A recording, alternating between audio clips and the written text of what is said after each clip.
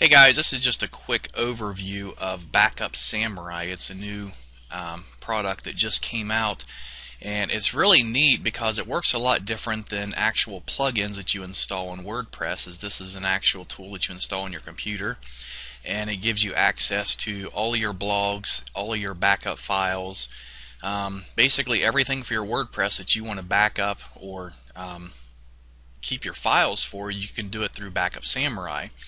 And so this is the main screen, the home screen, and you can see here, this is what it can do. It, it can back up your website's database, the files, it can back up an entire website, you can restore the database and the files, you can clone your website, and you can schedule it to uh, constantly do that as well.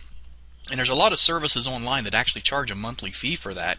So this is overall a really good deal, especially if you only have uh, you know a few blogs or really even if you have several hundred of them. But um, Backup Samurai, I just want to go through and show you uh, some of these tabs here. This here is the backup tab and it just shows you the backup database or the files or whichever ones you want to do. And one thing that's great about this is when you back up this information from your WordPress uh, sites, is it backups everything. So it's not one of these tools where it only backups, um, you know, the site, but it doesn't take your your uh, the options um, or the plugins because it does everything. It backups your complete site. So even if you want to clone it and send it off to another site or another server, everything is intact. You don't have to do anything once you um, uh, put it back up onto your new domain. And then here's the transfer. This is basically just transferring, moving or cloning an existing website to a new server or a new domain. And it's as simple as selecting one of the projects you created, loading it, um, and setting up the FTP settings to your new server and uploading it. And then you have the scheduler. And this is really neat because it gives you more options than just backing it up on your own server.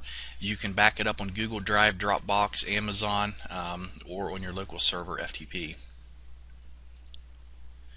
And that's pretty much all there is to it other than the scheduler here which you can set up to do daily, weekly, or monthly and you can choose to back up um, just the database, WordPress, or everything and you can turn that on and off. So really cool product. It's called Backup Samurai. You guys should check it out. Link is under the video in the description box where you can get more information on it.